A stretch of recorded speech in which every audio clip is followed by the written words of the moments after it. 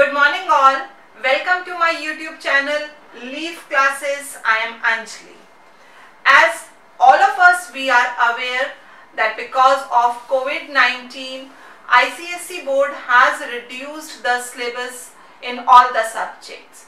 So today I am explaining you what is reduced in computer application subject for ICSE class 10 for the year 2021. The link of this reduction in syllabus for all the subjects is given in the description box. Please check that, download and prepare your subjects accordingly.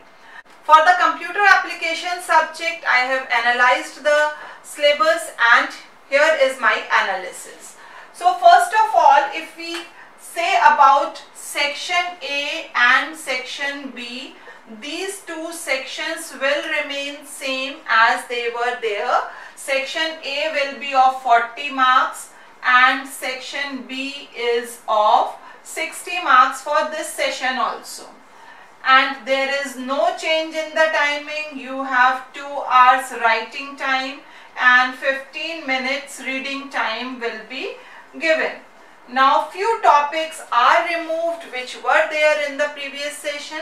Now one by one I will tell you all these topics. Here is the comparison for what was there and now what is there for the session 2021 for computer applications ICSE.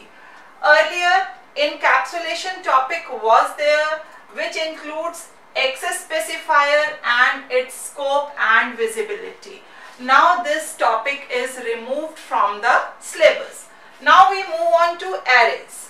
Arrays earlier for sorting we had two techniques selection sort and bubble sort. Now out of these selection is removed and in your syllabus you have only bubble sort technique and for searching techniques linear and binary two searching techniques were present. Now you have only linear search techniques. And from double dimensional array declaration initialization accessing of the elements programming using double dimensional arrays everything is removed. That means double dimensional array is not present for the session 2021 now we move on for the that is string handling. Earlier bubble and selection sort techniques were there for string arrays and in searching also linear technique was present.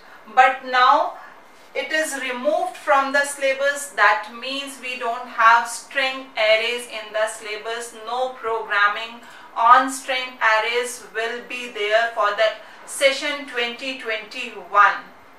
I hope this syllabus analysis for reduction in syllabus of computer applications will help you in preparing the subject and I know all of you are going to do very well. You will come with flying colors in the board exams also. So my best wishes with all of you.